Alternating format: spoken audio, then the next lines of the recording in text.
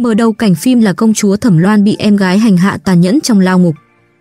Thẩm Vạn cười chế nhạo khinh thường, cho rằng chị gái mình ngu xuẩn bất tài, chỉ có cô ấy mới có tư cách đứng đầu cả đất nước.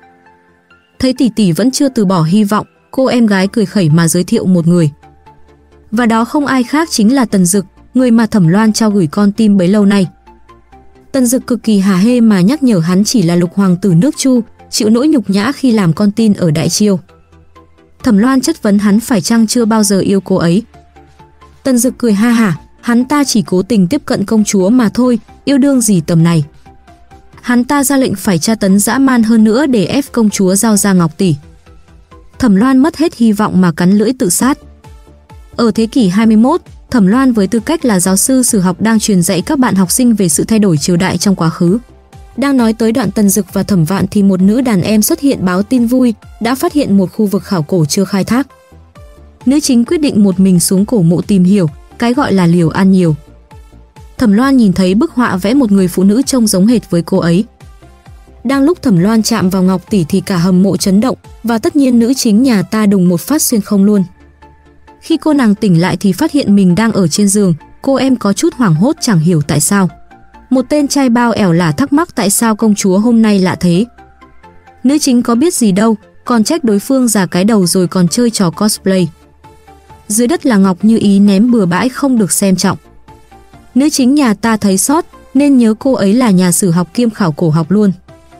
Bất ngờ thái giám xuất hiện gọi nữ chính là điện hạ, thúc giục cô ấy mau chuẩn bị tiến hành lễ kết hôn. Theo lời thái giám thì cô ấy sẽ cưới hoàng tử của nước Chu, Tần Dực. Thẩm Loan lúc này mới vỡ lẽ cô ấy đã trở thành trưởng công chúa.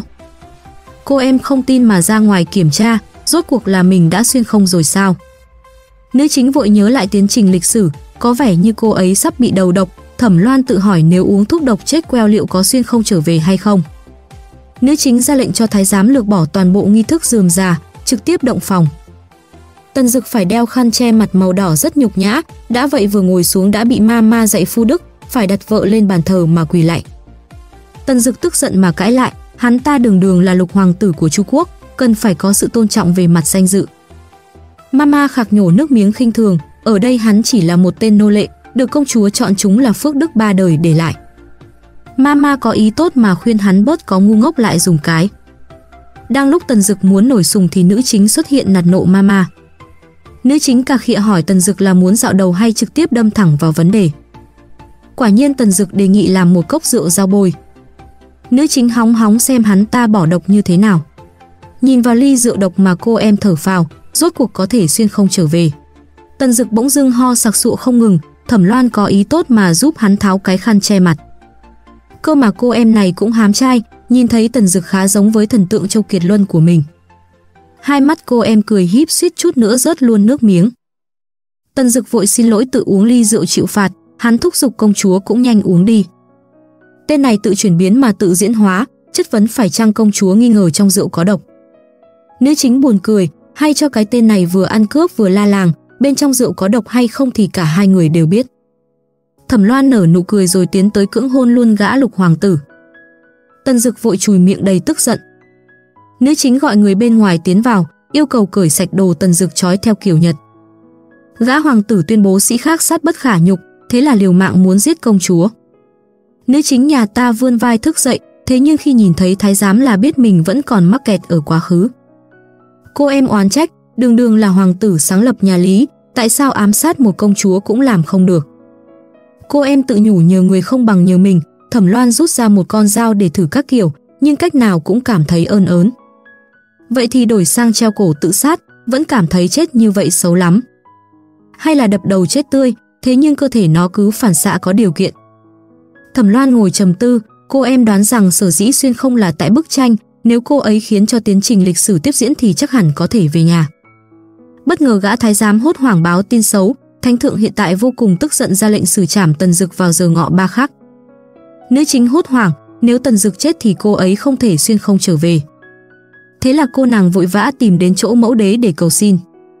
Nữ đế nổi giận, chỉ là hoàng tử của một đất nước nhỏ bé lại dám ám sát trưởng công chúa Đại Chiếu Quốc, rõ là muốn chết. Thấy con gái mình vẫn cứ ngang bướng, nữ đế khuyên ngăn, phải biết rằng một sợi tóc của công chúa còn quý hơn một mạng người. Nữ chính nhăn mặt dốc láo khẳng định cô ấy đã chót yêu tần dực mất rồi. Thấy mẫu đế vẫn cứ mãi cằn nhằn, cô nàng chơi chiêu giả vờ buồn nôn giống như là đang mang thai. Nữ đế đùng đùng nổi giận truy vấn rốt cuộc đứa con này là của ai. Bà ta tất nhiên không tin cái thai là của tần dực, đêm qua còn suýt giết nhau lấy đâu ra động phòng. Dù có là xếp hình cũng không thể nào có thai nhanh đến vậy. Bà ta cho rằng con gái ăn vụng ngoài đường nên muốn để tần dực đổ vỏ đây mà. Hết cách, nữ đế ra mật lệnh, nếu tần dực chấp nhận đổ vỏ, bà ta sẽ tha hắn ta một mạng. Chẳng mấy chốc mà thánh chỉ tuyên đọc, chỉ là một người thì càng nghe càng muốn hộc máu, người còn lại thì cười tủm tỉm rất vui vẻ. Đã vậy sau khi đọc xong thánh chỉ, nữ chính nhà ta không quên cả khịa yêu cầu Tần Dực phải nhớ đến công lao của cô ấy. Tần Dực cũng nghiêm túc cảm ơn công chúa đã cắm cho hắn một cái sừng vừa thô lại vừa dài. Thẩm Loan nhí nhảnh an ủi, nói cái gì mà thai nhi không phải là của bạn, ít nhất mẹ của thai nhi là của bạn hi hi. Gã công công còn nhiều chuyện nhắc nhở, ở đất nước này, hai tử sinh ra sẽ mang họ mẹ. Tần Dực tức điên, chất vấn rằng phải chăng hắn ta nên cảm ơn bọn họ. Nữ chính muốn xoa dịu hắn ta, tuyên bố rằng hài tử này không phải họ Tần đâu mà lo. Tần Dực tức giận, có lý nào đứa trẻ lại không mang họ cha cơ chứ, hắn cũng quên mất vụ thai nhi không phải là con của hắn. Thẩm Loan bình tĩnh cắt nghĩa cho Lục Hoàng tử, đầu tiên là hỏi hắn ta sống ở nhà ai, tiền chi tiêu hàng ngày là của ai, rồi thì đứa bé sinh ra từ bụng của ai. Ăn của người ta, ở nhà người ta mà còn bày đặt láo lều. Tần Dực nghe xong mà đau tim thật sự, hắn tức giận hộc máu tươi ngất xỉu ngay tại chỗ. Thái giám hoảng hốt mà chu chéo 120 đề si ben. Thái giám sau đó có chút lo nghĩ, lỡ bọn họ chơi chết Tần Dực thì ăn nói làm sao với Chu Quốc. Nữ chính ăn ủi chớ lo, dù sao hắn cũng là nữ đế sáng lập ra nhà Lý, nổi tiếng ác độc nhất nhì trong lịch sử, làm sao có thể chết dễ dàng thế được. Thái giám nghe xong giật mình, chẳng lẽ gã họ Tần này muốn mưu phản. Nữ chính biết mình hơi lỡ lời rồi vội nhăn mặt cho qua. Cô nàng chợt hỏi tin tức về thẩm vạn thế nào rồi. Theo lời A Phúc thì cha của thẩm vạn năm xưa đã lợi dụng cơn say mà dụ dỗ nữ đế, thế nên từ khi thẩm vạn sinh ra luôn bị nữ đế ghẻ lạnh không quan tâm. Nữ chính gật gù đồng ý, đây là mô típ nhân vật chính chịu nhiều khổ cực bị ức hiếp, sau đó thêm hiệu ứng hiền thục thiện lương, trả trách tần dực sẽ yêu cô ta say đắm. Theo như cốt truyện thì anh hùng thường thích cứu mỹ nhân, rồi thì yêu từ cái nhìn đầu tiên các kiểu. Thẩm Loan bỗng nảy ra ý định giúp cặp đôi này diễn một vở tuồng. Nữ chính ra lệnh thái giám mời nhị công chúa đến uống rượu. Tiếp đó Thẩm Loan tiến đến cà khịa tần dực, cô em cho gọi đám đàn em trai bao xuất hiện để khoe mẽ. Cơ mà mấy tên bóng lẻ cái này tài năng đầy mình à nha, người thì đàn hát cao thủ, kẻ cầm kỳ thi họa bậc đại sư, người còn lại thì giỏi bắt chước người khác. Tần Dực khịt mũi khinh thường, hắn ta sao lại đi so với đám người thấp kém như vậy? Nữ chính chống nạnh chất vấn, tại sao đàn ông tam thê tứ thiếp thì được, còn phụ nữ phải thờ một chồng rồi sinh con? Gã trai bao vội xông lên rèm pha, cần gì phải nhiều lời với thứ vô dụng ấy chứ, nên đem ra chém thành nghìn mảnh. Đám trai bao còn lại gật đầu đồng ý, không cần phải lãng phí thời gian với phế vật. Nữ chính tự tin tuyên bố, Tân Dực chỉ là con tin của nước bại trận, nếu hắn ta không làm cho cô ấy vui vẻ. Vậy thì Thẩm Loan sẽ gửi trả hắn lại Chu Quốc nhỏ bé, thiết nghĩ đến lúc đó hắn cũng sẽ bị cha mình bầm thây. Tân Dực chợt nhớ lại quá khứ, lúc đó từng có thái giám đứng ra can gián, bảo rằng trưởng công chúa đại chiêu dâm đãng tàn ác, sợ là lục hoàng tử đến đó chỉ có con đường chết. Thế nhưng hoàng đế không quan tâm, cùng lắm thì chết một đứa con trai thôi, có gì mà phải lang tăng. Tân Dực biết rằng bản thân hiện tại chẳng có ai quan tâm, hắn ta buộc phải đồng ý mọi yêu cầu mà sống tiếp. Vị lục hoàng tử rút kiếm ra để biểu diễn mua vui cho công chúa. Nữ chính vỗ tay khen hay, sau đó thì thầm hỏi thái giám tại sao thẩm vạn chưa tới, bỏ lỡ sân khấu thế này thì chẳng phải uổng lắm sao. Bất ngờ một nữ hộ vệ xông ra tấn công tần dực tới tấp. Thẩm loan có chút nhăn mặt, rõ ràng đây là vở kịch mỹ nhân cứu anh hùng, thế quái nào lại đánh nhau rồi. Nữ chính vội chạy xuống giải thích đây là hiểu lầm, cô nàng muốn cắt nghĩa với em gái người trước mặt là lục hoàng tử Chu Quốc. Thẩm vạn sau khi biết được chị gái đang tìm cách sỉ nhục tần dực trước mặt mọi người, cô em gái này không những không đứng ra bảo vệ, mà ngược lại chỉ trích tần dực, rồi còn ra lệnh cho thuộc hạ bắt hắn ta lại. Nữ chính vội đứng ra ngăn cản khuyên nhủ, dù sao người ta cũng là hoàng tử. Thẩm vạn khinh thường, chỉ là con tin của nước bại trận, sao dám ở đây múa máy tay chân cơ chứ. Thẩm vạn đề nghị muốn thuần hóa tên này như một con chó ngoan giúp tỷ tỷ. Bất ngờ tiêu tướng quân xuất hiện khiến cho mọi người giật mình. Thái giám thì thầm nhắc nhở người mới tới chính là Tiêu Hằng, Tiêu tướng quân. Nữ chính chợt nhớ lại lịch sử, vị này được coi là thần chiến tranh của Đại Chiêu. Những năm cuối binh biến, Tiêu Hằng đã liều chết mà bảo vệ cho công chúa. Nữ chính nhà ta cười mỉm mỉm, tự hỏi trưởng công chúa đã cắm bao nhiêu chiếc sừng xung quanh, cơ mà cô nàng thấy vị chiến thần này quá đẹp trai đi ấy chứ. Tiêu Hằng uy nghiêm chỉ trích bọn họ, cơ sao lại cố tình hạ nhục hoàng tử của một quốc gia. Nữ chính vui vẻ gật đầu liên lịa, nhận hết lỗi sai thuộc về mình, sau đó còn cố tình làm bà mối giúp cho Thẩm Vạn và Tần Dực nên tìm hiểu nhau. Tiêu Hằng gọi công chúa ra ngoài tâm sự mỏng, hắn ta bắt đầu lên lớp dạy đời, nói cái gì mà công chúa điêu ngoa thành tính. Nếu đã chọn lục hoàng tử trở thành phò mã thì ít nhất đối xử với con người ta đàng hoàng, hắn ta bla bla nhân nghĩa đạo đức liên mồm. Nữ chính thì giả vờ sụt xịt nước mũi khóc hu hu rất là vô tội. Tiêu Hằng quả thật không đỡ được chiều này. Cô em nói cái gì mà cô đơn lạnh lẽo không người tâm sự, mỗi bước đi như dẫm trên băng mỏng mà không biết đường về nhà hu hu. Cô em diễn quá xuất sắc khiến cho Tiêu Hằng suýt chút nữa thất thủ. Thẩm Loan đáng thương cầu xin Tiêu Hằng đừng ghét bỏ mình, tất nhiên vị tướng quân này đâu dám ghét bỏ. Nữ chính cười đắc ý đã thành công chinh phục tướng quân, từ nay về sau sẽ dễ dàng thao tác hơn. Nữ thuộc hạ báo cáo với thẩm vạn kế hoạch đã thành công tốt đẹp, bọn họ đã khiến cho Tần Dực và trưởng công chúa mâu thuẫn, đêm nay sẽ là ngày chết của Thẩm Loan. Nhị công chúa này cũng thuộc dạng âm mưu hiểm độc, cô ra lệnh thuộc hạ cử người hỗ trợ, giúp cho trưởng công chúa chết một cách nhanh nhất có thể. Buổi tối Thẩm Loan tìm đến chỗ Tần Dực để mà xin lỗi, tất nhiên là Tần Dực tỏ ra không hề tin tưởng. Nữ chính thừa nhận sáng nay quả thật ngoài tầm kiểm soát quá nhiều, hy vọng hắn ta cho cô ấy một cơ hội sửa sai. Thấy tên này cứ mềm cứng không ăn, nữ chính quyết định muốn biểu diễn nghệ thuật giúp hắn ta vui trở lại. Cơ mà cái cách cô em cởi áo khoác khiến người ta rất ư là hiểu lầm. Tần Dực nhọn mỏ ngượng ngùng tuyên bố đừng có nghĩ rằng hắn ta dễ dãi. Nữ chính chống nạnh lên chửi đồng, nghĩ cái gì thế em trai, mơ đẹp thế cưng. Cô ấy chỉ muốn nhảy múa để đáp lễ lại chuyện lúc sáng mà thôi. Sở dĩ cởi áo khoác ra là để dễ óng ẹo bài múa lăng quăng của mình. Tần Dực quyết không đồng ý, nói cái gì phi lễ chớ nhìn. Nữ chính thì nghĩ rằng Tần Dực đang muốn làm giá, chẳng lẽ hắn ta buộc cô phải biểu diễn trước mặt mọi người mới chịu.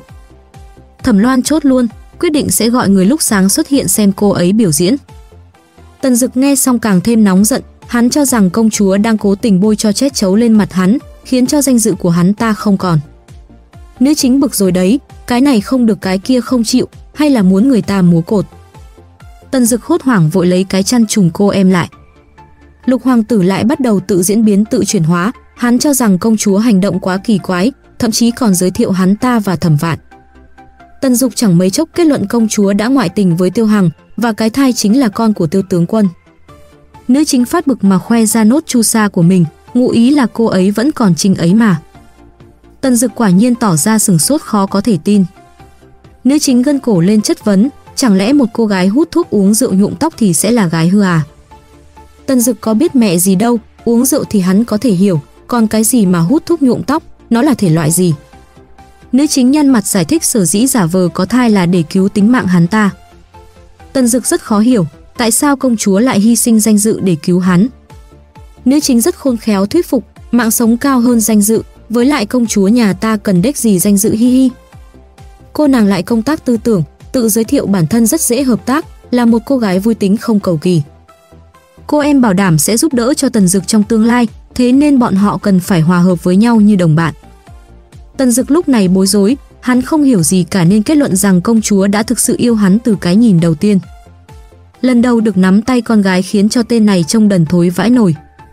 Sau một lúc hắn mới chợt nhớ bên ngoài có sát thủ, thế là tên này vội rút kiếm xông ra để bảo vệ công chúa. Nữ chính nghiêng đầu hỏi hắn ta đang làm trò hề gì vậy. Tần Dực dốc láo giải thích chỉ là tập thể dục đêm khuya. Nữ chính cười tươi muốn khen ngợi, thế nhưng lúc cô em đạp trúng mũi tên thì hiểu rằng đêm nay hắn muốn ám sát mình. Thẩm Loan thầm nghĩ chắc hẳn do lúc nãy cô ấy diễn quá tốt, khiến cho Tần Dực thay đổi suy nghĩ. Chỉ là vẫn có một tên sát thủ đủ kiên nhẫn, hắn ta trở lại đúng một mũi tên cuối cùng để bắn công chúa. Tần Dực hoảng hốt mà hét lớn gọi công chúa. Thẩm Loan lúc này đang ở trong ác mộng, Tần Dực mang binh tạo phản khiến cho cung điện nhuộm máu. Cô nàng giật mình mà tỉnh dậy, vẫn còn hoảng hốt chưa kịp tỉnh mộng. Vừa khéo thái giám xuất hiện, A Phúc vui mừng khi thấy công chúa tỉnh lại. Nữ chính hỏi thăm Tần Dực thế nào rồi, theo lời A Phúc thì nữ đế nổi giận lại ra lệnh xử trảm. Thẩm Loan hốt hoảng chạy không kịp mang dép rời đi cứu người. Cũng may là xử trảm ngày xưa khá là dườm già, nào là phải đợi giờ ngọ ba khắc, nào là phải ngậm rượu phù nào. Nhờ thế mà nữ chính đã kịp thời có mặt để ngăn cản vụ hành quyết. Chỉ là lần này nữ đế nổi giận thật sự mà muốn giết người. Thẩm Loan lại lấy cớ vì cái thai trong bụng, cô ấy sợ sinh ra đứa nhỏ sẽ bị thiên hạ dèm pha. Thế nhưng nữ đế tuyên bố đã có cách, bà ta sẽ chiêu mộ trai đẹp khắp đất nước cho con gái mặc sức lựa chọn. Nữ chính thể hiện quyết tâm lì lợm vẫn muốn chọn tần dực. Lục hoàng tử lúc này đầy mặc cảm, hắn ta muốn giết công chúa bằng mọi giá, kết quả là người ta thể sống thể chết bảo vệ hắn. Tên này tự luyến phải chăng mình quá đẹp trai khiến công chúa yêu thương. Nữ đế nổi giận, đường đường là trưởng công chúa mà hết lần này tới lần khác làm mất mặt hoàng gia. Bà ta lại ném một lệnh bài thông báo xử trảm. Thẩm Loan vội ôm Tần Dục rồi hét lớn đứa nào dám, cô em sừng sọ trông rất khí thế khiến tên đao phủ cũng quẹo. Tần Dực thừa nhận hắn ta có ý định muốn giết công chúa. Nữ chính giải thích cô ấy biết hết rồi, cô em vẫn thể hiện quyết tâm muốn bảo vệ hắn ta dù thế nào đi nữa. Tần Dực quả nhiên bị cảm động, hắn ta khuyên công chúa hãy rời đi, hắn không xứng đáng để được bảo vệ. Tất nhiên nữ chính không đồng ý rồi, nếu Tần Dực mà chết thì lịch sử bị thay đổi, làm sao cô có thể xuyên không trở về cơ chứ? Lão thái giám trong lúc vô tình nhìn thấy nốt chu sa của công chúa.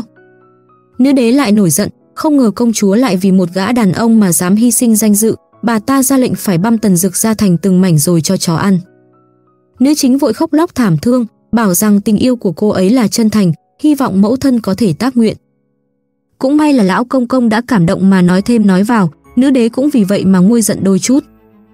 Lão công công thậm chí sắp phát khóc với tình yêu đầy nước mắt này. Nữ đế cuối cùng cũng chịu không được mà có ý định bỏ qua. Bất ngờ thẩm vạn xông vào tuyên bố không thể tha chết, cô ta cho rằng vẫn có một phương pháp giải quyết vấn đề này. Nhị công chúa kể rằng trong lịch sử từng có người vì muốn chứng minh sự chân thành mà đã tự moi tim bản thân. Thế nên thẩm vạn đề nghị tần dực hãy học theo cổ nhân mà chứng minh lòng thành. Nữ đế cảm thấy lời nói của nhị công chúa vô cùng hợp lý nên liền đồng ý. Nữ chính giận dữ chỉ trích, cô ấy không hề đồng ý cách này. Thế nhưng nữ đế tỏ ra giận dữ, bà to cho rằng Thẩm Loan đã đánh mất danh giá của một vị công chúa. Thế nhưng nữ chính hét lớn mà cãi lại mẫu thân, cô tự nhận tất cả mọi tội lỗi đều xuất phát tự bản thân. Thế nên mới dẫn hậu quả của ngày hôm nay, chính cô ấy đã đẩy Tần Dực tới đường cùng buộc hắn ta phải ám sát cô ấy. Tần Dực lúc này vô cùng cảm động, thế nên hắn ta khuyên trưởng công chúa hãy dừng lại. Hắn ta sẵn sàng chết để bảo vệ danh dự của cô ấy, dù rằng hắn ta thật sự muốn suốt đời suốt kiếp được ở bên cạnh Thẩm Loan.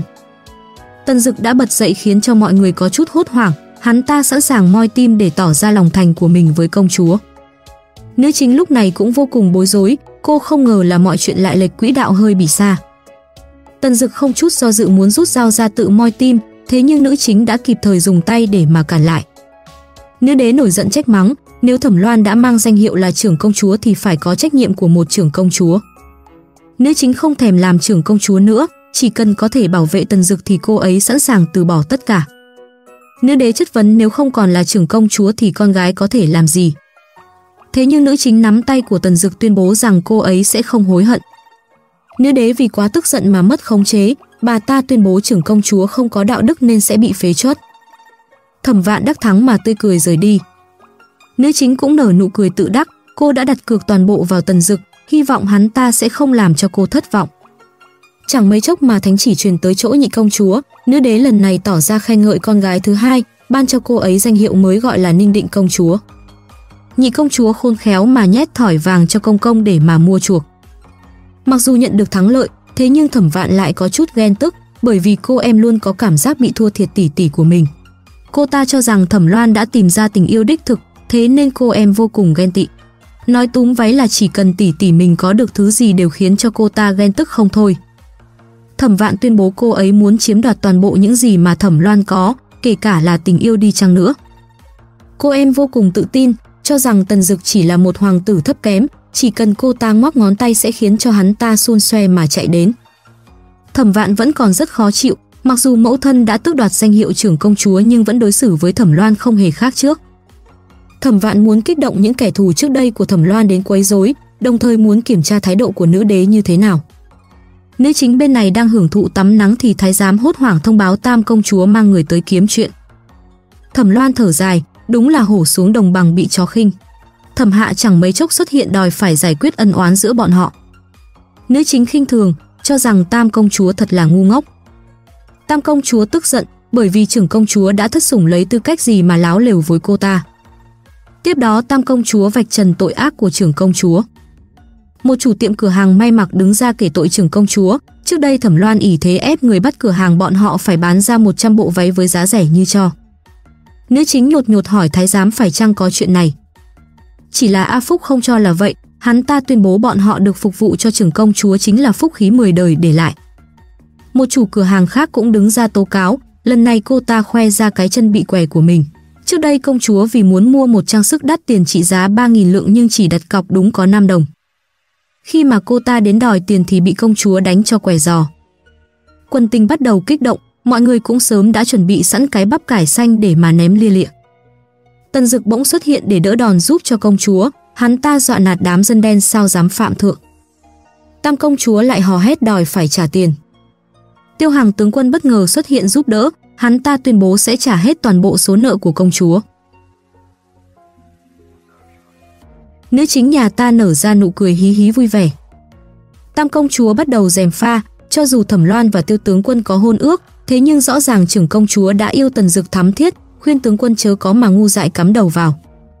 Tiêu Hằng khẳng định dù Thẩm Loan có yêu ai cũng không ảnh hưởng tình cảm hắn ta dành cho công chúa. Thẩm Hạ nhảy dựng lên oán hờn, từ nhỏ đến lớn Thẩm Loan luôn được sự sủng ái của mẫu thân, đến cả tình yêu cũng được nhiều người săn đón nghĩa là sao? Càng nghĩ mà càng tức, thế là Thẩm Hạ quất roi khiến cho nữ chính văng xuống hồ luôn. Nữ chính ắt xì hới hời, Tần Dực mang theo thuốc đắng vui vẻ tìm đến. Thế nhưng nữ chính nhà ta sợ nhất là uống thuốc đông y, đáng thấy mồ à. Tần Dực tìm cách mà dỗ dành dụ khị công chúa nhà ta. Nữ chính nhí nhảnh vui vẻ, cô nàng nhận xét Tần Dực đâu có tàn nhẫn như lịch sử nói đâu, trông khá là dễ thương đấy chứ. Cô em bị trai đẹp dụ khị nên đồng ý uống thuốc rồi nhăn mặt. Nữ chính cảm thán kể về kiếp trước của mình, luôn cô đơn một mình, cuối cùng thì xuyên không đến nơi tồi tàn này. Tần Dực cảm thấy thắc mắc, hoàng cung mà tồi tàn á. Cô em than thở tính mạng cứ như chỉ mảnh treo chuông. Tần Dực khó hiểu khều cô em, một công chúa được sủng ái nhất đế quốc, ai có thể gây nguy hiểm tính mạng cô ấy chứ? Cô nàng nhí nhảnh trêu chọc, hắn ta chính là đại ác quỷ chứ đâu. Tần Dực hứa hẹn suốt cuộc đời này hắn ta sẽ không bao giờ làm tổn thương Thẩm Loan, hắn sẽ dùng hành động để chứng minh điều mình nói. Tần Dực mượn cơ hội mà tỏ tình, hắn muốn dùng cả cuộc đời này ở bên cạnh bảo vệ công chúa. Nữ chính nhà ta ngượng ngùng không thôi, bởi vì Tần Dực khá giống ca sĩ Châu Kiệt Luân, có cảm tưởng như vừa được thần tượng tỏ tình vậy. Nữ chính hỏi quạch tẹt có phải Tần Dực đã yêu cô ấy rồi không? Lục hoàng tử cũng cảm thán, ban đầu hắn ta ghét cay ghét đắng vị công chúa điêu ngoa này. Thế nhưng trải qua những ngày sinh tử bên nhau, trái tim của hắn ta đã bị công chúa cướp đi lúc nào không hay. Nữ chính rất là vui vẻ, thế nhưng cô tuyên bố đã có người mình thích rồi. Tần Dực chất vấn hỏi người đó rốt cuộc là ai. Nữ chính khẳng định hắn sẽ không biết đâu, người đó tên là Châu Kiệt Luân. Tần Dực chợt nhớ tới đêm lễ thành hôn, công chúa từng gọi hắn là Châu Kiệt Luân. Tần Dực ghen tuông, phải chăng công chúa đối xử tốt với hắn ta là do giống gã Châu Kiệt Luân nào đó. Nữ chính vội cắt nghĩa cho hắn ta, nếu như người cứu hắn hôm đó là thẩm vạn thì phải chăng hắn sẽ yêu cô ấy. Túm váy là cô em lắc đầu khuyên Tần Dực không nên lầm tưởng giữa cảm động và tình yêu, một ngày nào đó hắn ta sẽ phát hiện ra chân ái không phải là cô ấy mà là người khác. Tần Dực liền tù tì trách công chúa, nếu đã không thích hắn thì tại sao phải trêu chọc hắn, để giờ đây trái tim của người ta rung động thì cô em chơi song rong. Nữ chính lại khuyên nhủ hắn ta, bởi vì hiện tại cô ấy một nghèo hai trắng, đi theo cô ấy chỉ khiến cho Tần Dực bị dèm pha mà thôi. Cô nàng khẳng định hắn ta là đại bàng trên bầu trời, nếu lẽo đẽo theo cô ấy sẽ trở thành con ngỗng trên nóc nhà. Nữ chính có ý định gửi Tần Dực đến cung điện của nhị công chúa. Tần Dực nhân cơ hội mà cướp luôn nụ hôn của trưởng công chúa. Hắn ta bảo rằng hành động vừa rồi là thay cho lời nói, Tần Dực khẳng định cảm xúc của hắn ta là tình yêu chứ không phải mang ơn. Hắn chưa bao giờ tin vào thứ tình yêu xét đánh, giữa hai người bọn họ chính là ông trời dày vò mà tác hợp. Nữ chính vẫn khuyên nhủ, bảo rằng số mệnh đã do ông trời định trước, nếu làm ngược lại sẽ bị thiên lôi hỏi thăm. Tần Dực vẫn ngu lì không hối cãi, tuyên bố thằng nào tên là thiên lôi cứ ngon mà xuất hiện, để xem hắn ta có tát vỡ mồm không thì biết. Tần Dực ôm công chúa thể hẹn, bất kể cô ấy có bị dùng bỏ hay nghèo khổ, hắn vẫn sẽ quyết ăn bám cô ấy cho tới cùng. Nữ chính nhắc nhở hắn chuyện sáng nay, tam công chúa cùi bắp còn có ý định leo lên đầu cô ấy, thử hỏi cuộc sống sau này sẽ khó khăn thế nào. Tần Dực lộ ra nụ cười tự tin, hắn ta tuyên bố sẽ nuôi công chúa béo mập, để chứng minh điều đó hắn ta đã lấy ra một sấp sổ đỏ trải dài từ Hà Nội tới Cà Mau. Cô em giả vờ tỏ ra lịch sự này nọ muốn trả lại, thế nhưng sổ đỏ vừa tới tay thì nữ chính liền không nhận người, đuổi Tần Dực đi ngay và luôn. Lục hoàng tử hạnh phúc cười vui vẻ rời đi. Bất ngờ gã thái giám ú tim ù ập xuất hiện, có vẻ như hắn ta đã lén lút nghe hết cuộc trò chuyện của hai người. Nữ chính bất giác cảm thấy xấu hổ, cô em có bao giờ yêu đương đâu, đã vậy còn bị người khác bắt gặp. A Phúc khuyên công chúa là nên đón nhận tình cảm lục hoàng tử, dù sao thì công chúa cũng đã hy sinh nhiều vì hắn ta rồi. Thế nhưng nữ chính rất khó lựa chọn, bởi vì cô cần phải để cho bánh răng lịch sử về đúng vị trí.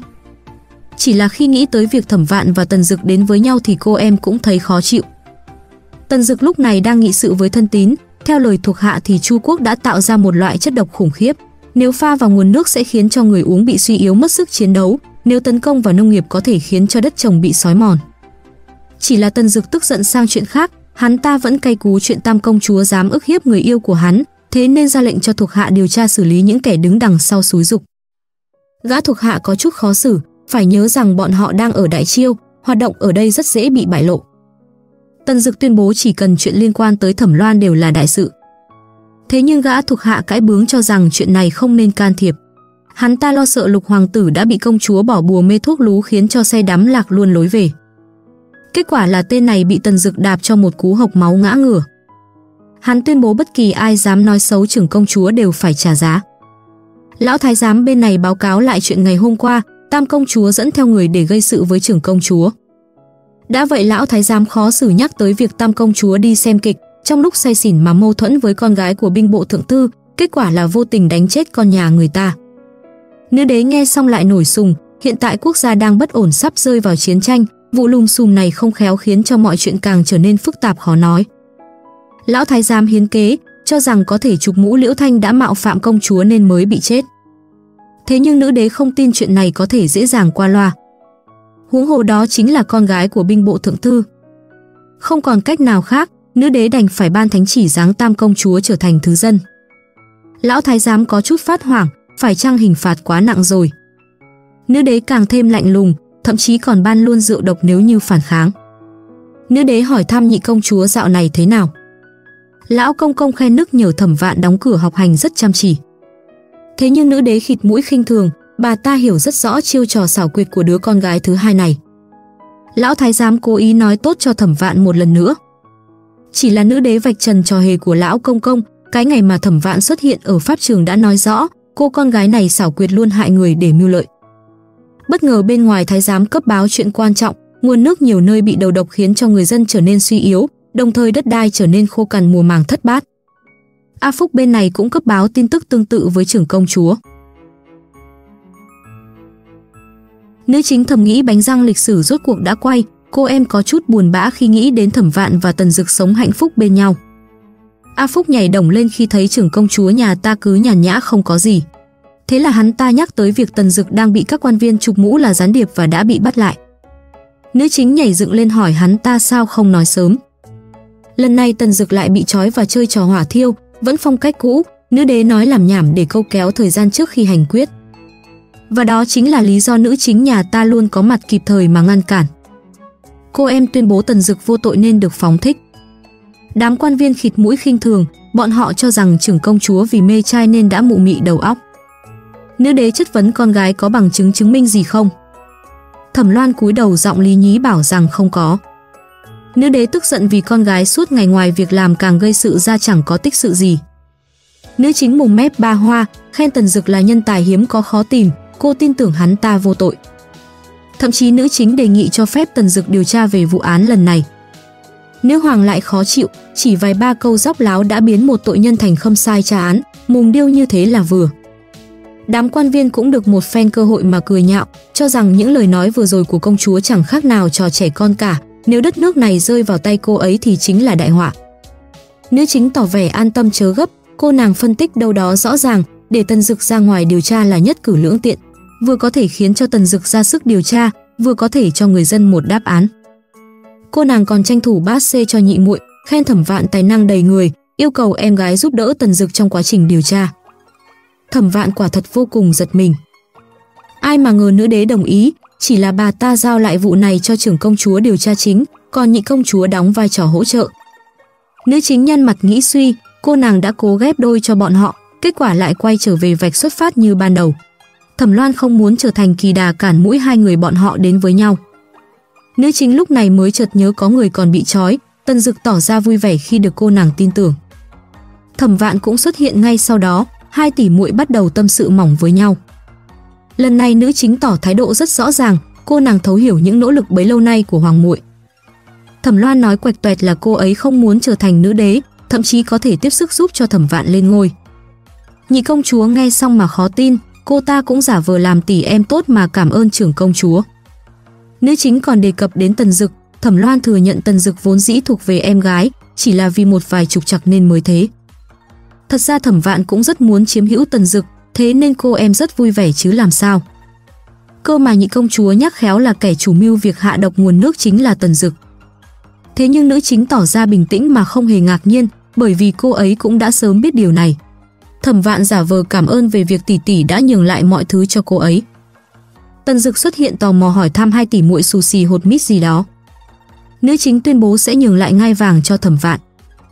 Tần Dực vội nhắc nhở, hắn ta đã điều tra và biết được Thẩm Vạn chính là người đã kích động Tam công chúa quấy rối, đồng thời còn tạo ra vô số phiền phức cho trưởng công chúa. Thế nhưng nữ chính yêu cầu hắn ta dừng lại, bởi vì cô ấy đã sớm biết toàn bộ sự thực. Tần Dực vô cùng khó hiểu, nếu như công chúa đã biết thì tại sao còn giúp đỡ Thẩm Vạn? Nữ chính ra vẻ bà cụ non khuyên bảo, Thẩm Vạn cũng giống như Tần Dực, là một người có tài trí nhưng không được trọng dụng, thế nên mỗi bước đi đều phải tính toán chi ly.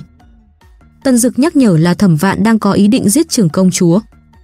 Thế nhưng nữ chính hỏi ngược lại, chẳng phải ban đầu hắn ta cũng muốn giết cô ấy hay sao?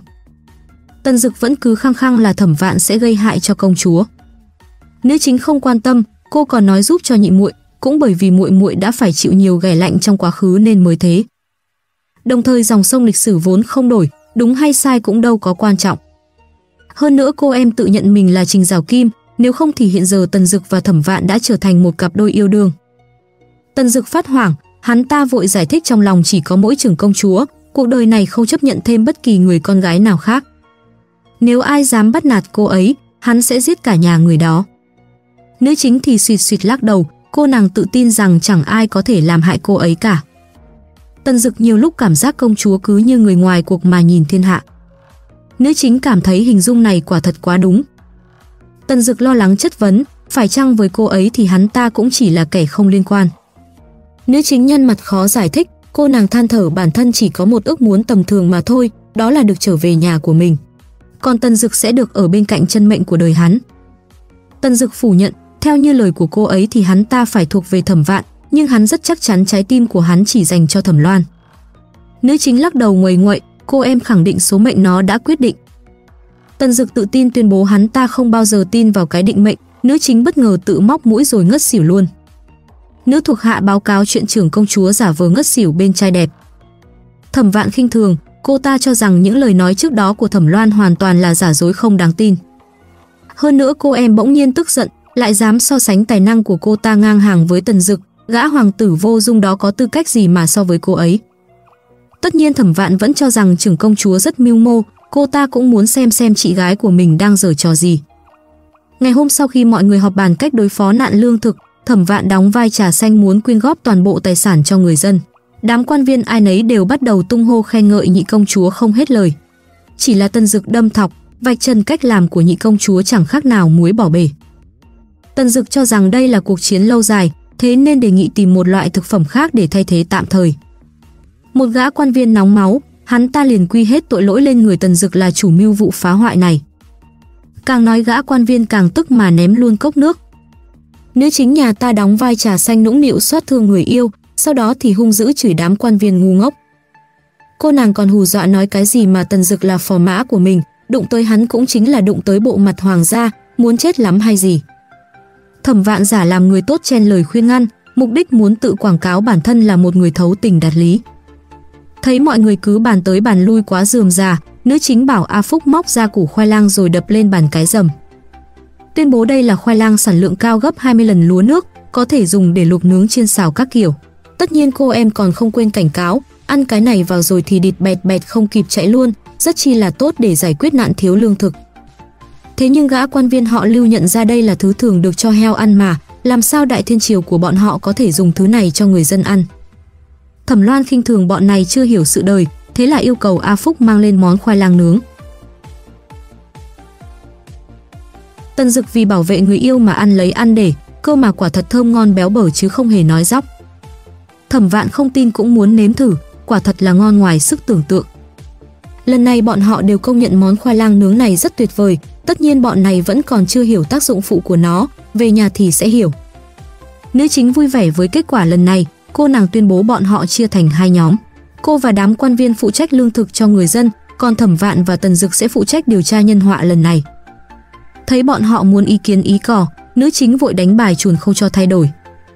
Nữ chính sau khi ra ngoài thì lầm nhầm bản thân chẳng qua là kẻ đánh cắp lịch sử, thật ra biện pháp sử dụng khoai lang chính là do Tần Dực và Thẩm Vạn cùng nhau nghĩ ra. A Phúc cho rằng sau vụ lần này, bọn họ có thể lan truyền chiến tích vĩ đại của trưởng công chúa, từ đó khiến cho mọi người tin phục cô ấy mà lên ngai vàng. Nữ chính hù dọa A Phúc, tuyên truyền tầm bậy sẽ bị khép vào tội chống phá nhà nước mà bắt vào tù đấy nhé. A Phúc chẳng hiểu ra làm sao, hắn ta còn có một chuyện thắc mắc, tại sao lúc nào trưởng công chúa cũng muốn đẩy Tần Dực về phía nhị công chúa. Nữ chính hỏi A Phúc không thấy bọn họ xứng đôi à, đều cùng khổ cực từ nhỏ, chịu nhẫn nhục lại rất thông minh, hơn nữa còn có hoài bão lớn. A Phúc ngược lại cho rằng điều đó không quan trọng, theo hắn thấy thì người mà Tần Dực yêu sâu đậm chính là trưởng công chúa. Nữ chính lắc đầu cho rằng hắn không hiểu đâu, nếu làm vậy sẽ đi ngược lại ý trời. A Phúc hỏi ngược lại nghịch thiên thì có làm sao, công chúa có thể phong thần mà chống lại. Nữ chính vội đưa cho A Phúc xuân dược, khẳng định bất kỳ nhân vật nam nữ chính nào cũng cần thứ này để đến với nhau, 100 bộ tiểu thuyết cầu huyết đều viết như thế. Vừa khéo là thuộc hạ của nhị công chúa cũng đã vô tình nghe thấy chuyện này. Tần Dực nửa đêm cười mỉm mỉm, lần đầu tiên được trưởng công chúa hẹn hò bảo sao không vui cho được. Chỉ là khi đến nơi thì phát hiện người bên trong là nhị công chúa. Theo lời thẩm vạn thì có vẻ như tỷ tỷ đã hẹn hai người bọn họ đến đây. Thấy Tần Dực muốn rời đi, thẩm vạn vội hét lớn chuyện lần này là do trưởng công chúa tung tin đồn. Cô ta muốn kích thích sự tò mò của Tần Dực để mời hắn ta uống một ly rượu. Thẩm vạn bắt đầu kể chuyện, cô ta bảo rằng chính tỷ tỷ đã lan truyền tin đồn, để từ đó tạo cơ hội đứng ra giúp đỡ Tần Dực. Mục đích cuối cùng chính là lấy lại được lòng tin của nữ hoàng và quan viên, đồng thời khiến cho Tần Dực nợ thêm một ân huệ. Tần Dực mỉm cười hỏi ngược, Thẩm Loan lừa dối hắn thật sao? Thẩm Vạn tất nhiên khẳng định điều đó, cô em trà xanh bắt đầu ra chiêu mỹ nhân kế. Chỉ là Tân Dực từ chối, đồng thời nhắc nhở cô ấy chính là em vợ của hắn. Tân Dực bất ngờ choáng váng, hắn ta buộc tội Thẩm Vạn chơi trò âm hiểm. Thế nhưng cô em cười đáp, người bỏ Xuân Dược chính là Hoàng tỷ chứ không phải cô ấy. Tân Dực cố gắng khống chế bản thân rồi tuyên bố, dù cho phụ nữ trên đời chết hết thì hắn ta cũng sẽ không chạm vào cô ta. Nói xong hắn vội chạy ra ngoài rồi nhảy xuống hồ tắm mát. Thẩm Loan bên này cứ bồn chồn không thôi, rốt cuộc bọn họ đã xếp hình hay chưa? A Phúc khẳng định trăm phần trăm là bọn họ đã chim chuột xong lâu rồi, thậm chí là ngày mai cả hai không thể rời giường luôn hí hí. Nữ chính bỗng nhiên tỏ ra ghen tức mà nhéo tai A Phúc khóc hu hu. A Phúc hốt hoảng chỉ về phía trước, hóa ra Tần Dực đã trở về. Chỉ có điều hắn ta bày ra cái mặt mâm khiến cho nữ chính cười gượng gạo hi hi. Tên này chẳng nói chẳng dành mà đi một mạch về phòng, nữ chính vội đuổi theo hỏi rốt cuộc làm sao thế. Tần Dực tức giận chất vấn phải chăng hắn ta là kẻ ngốc trong mắt công chúa. Nữ chính vội khỏa khỏa tay, cô ấy chỉ muốn trả lại vật y nguyên chủ thôi mà. Hai người đang tranh cãi với nhau rốt cuộc thì ai mới đúng. Bất ngờ thánh chỉ nửa đêm xuất hiện lãng xẹt, hóa ra nữ hoàng muốn phục chức cho con gái, còn phong cho thẩm loan lên chức thái tử. Nữ chính cảm thấy rất khó hiểu, cô đã làm gì đâu mà lại được khen thưởng. Lão thái giám cho rằng trưởng công chúa đã có công bình định khủng hoảng lương thực nên rất xứng đáng khen thưởng. Hỏi ra mới biết chuyện này là do tần dực gây ra, cô em dỗi hờn hắn ta đúng là kẻ phá hoại. Bất ngờ A Phúc hốt hoảng báo tin, nhị công chúa có ý định làm phản.